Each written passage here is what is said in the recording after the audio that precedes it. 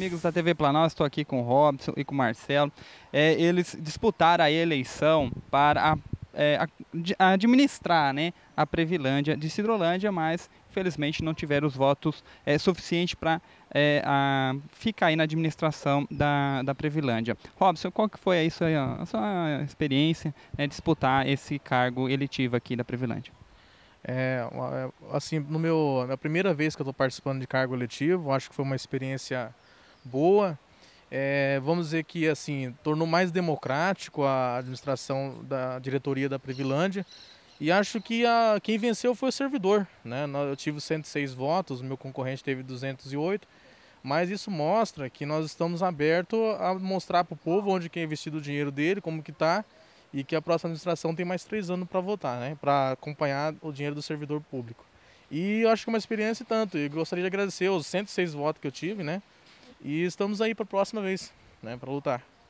Obrigado pela sua participação, Marcelo.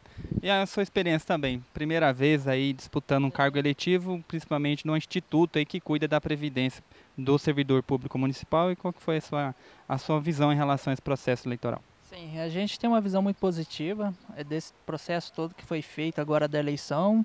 É, a gente ficou assim muito feliz com o resultado, apesar da derrota. A derrota veio, mas mobilizar essa população a vir participar. A gente ainda ficou um pouco triste porque a participação foi um pouco pequena, a gente esperava uma participação maior da população.